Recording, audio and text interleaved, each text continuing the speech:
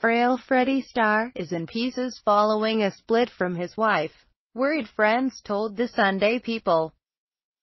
The devastated comic, 72 has sold his house at a loss and become a recluse since Sophie, 33, left. One pal said, he's in free fall. She walked out as police probed claims that he had butted her 15-year-old stepson Elliot Lee.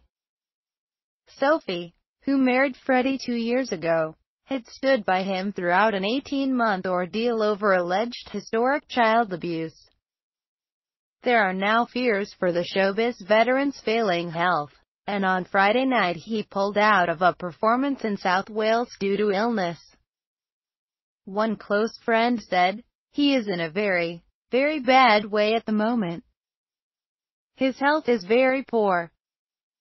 He has a serious lung condition, can barely walk and spends much of his time in a wheelchair.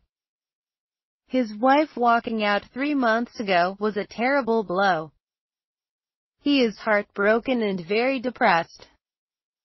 Added the friend.